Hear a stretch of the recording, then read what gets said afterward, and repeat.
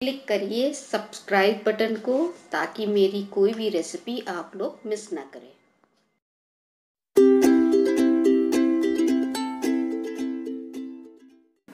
Friends, आज हम आपको कोई रेसिपी नहीं बता रहे हैं। आज हम आपको जो हम लोग फेंक देते हैं, जिसकी डंडियाँ बिल्कुल कचड़े में उस उससे किस हिसाब से आप घर में पुदीना आराम से उगा सकते हैं और बहुत अच्छी क्वांटिटी में निकल आता है। दो से तीन दिन में आपका पूरा एक पुदीना निकल आएगा। यहाँ पर हमने पुदीना सब पत्तियाँ तोड़ के अलग कर ली हैं। ये देखिए, एक पुदीने की गड्डी थी बड़ी। और ये जो है, इसकी डंडियाँ, इसमें से अभी हमें और निकालना है। पर ये जो नीचे की, ये देखिए हम किस तरीके से निकाल रहे हैं।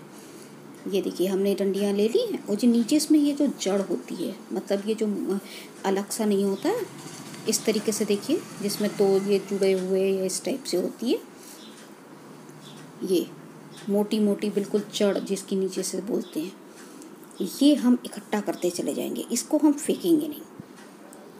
इसी तरीके से जितनी होंगी, सब में नहीं होती हैं, आठ दस में ही निकलती हैं एक पुदीने की गड्डी में तो आप इसको ध्यान दीजिएगा। और जैसे हम इस पुदीने को बिना पैसे के कोई बिना टाइम वेस्ट किए हुए आप घर में पुदीने आराम से निकाल सकते हैं। गर्मियों में तो पुदीना बहुत मिंट बहुत फ़ायदा करता है। हर चीज़ में हम लोग डालते हैं। ये देखिए, हमारी आठ से दस आराम से निकल आई हैं।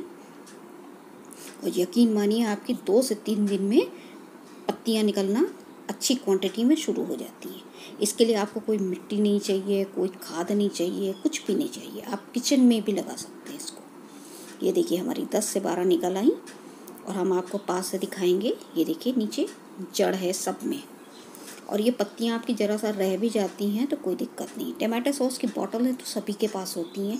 अगर ये नहीं है तो कोई भी बॉटल आपके पास हो, उसमें आप आधे से ज़्यादा पानी भर लीजिए। मतलब ये ये छोटा ग्लास है मेरे पास, आप किसी भी चीज़ में लगा सकते हैं, पर ये जो डंडी है, ये टिप होनी चाहिए थोड़ी सी पानी के अंदर। अब ये देखिए। छः से सात हमारे पास इस तरीके से हैं, हम इनको अंदर डाल देंगे। अभी हम आपको दिखाएँगे कि हमने लगाया था और किस तरीके से निकली है दो दिन के अंदर में। ये देखिए। इसमें अभी हम और पानी भरेंगे। ये आपको हमने सिर्फ़ दिखाया है कि किस तरीके से लगाते हैं। खाद मिट्टी में तो बहुत ही आराम से निकल आती हैं, पर इस तरीके से आप किचन में भी आप लगा देंगे तो आराम से हवा लगेगी।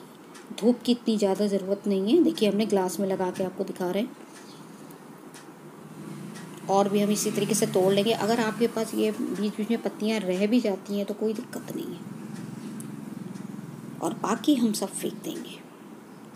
ये देखिए, आज ये इस टाइप से मार्केट में कुछ मिल भी नहीं रहा है, कभी मिलता है, कभी नहीं मिलता ये देखिए, दो दिन के अंदर में हमारी निकली है।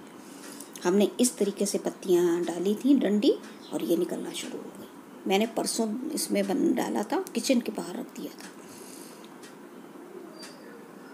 देखिए, इसी को हम आपको इसमें लगा के दिखाते हैं कि हमने कैसे लगाया था।